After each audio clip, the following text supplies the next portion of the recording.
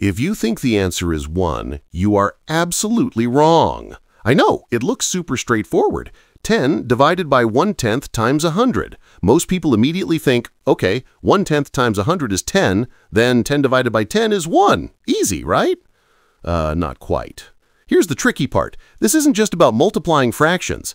Math follows the order of operations, PEMDAS, and also the concept of keep, change, flip for dividing by fractions. Multiplication and division are on the same level, so we go left to right. Let's do it step by step. Start with 10 divided by 1 tenth times 100. First, 10 divided by 1 tenth. Remember, dividing by a fraction is the same as multiplying by its reciprocal. That's keep, change, flip. So, 10 divided by 1 tenth becomes 10 times 10, which is 100.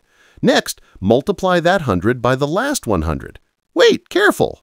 It's just times 100, so 100 times 100 equals 10,000. So the correct answer is 10,000, not 1. Yup, 10,000, not 1. If you don't believe it, try it on your calculator. It will seriously surprise you. Got it right? You're officially smarter than 95% of the internet. Now prove it. Hit subscribe before your brain resets.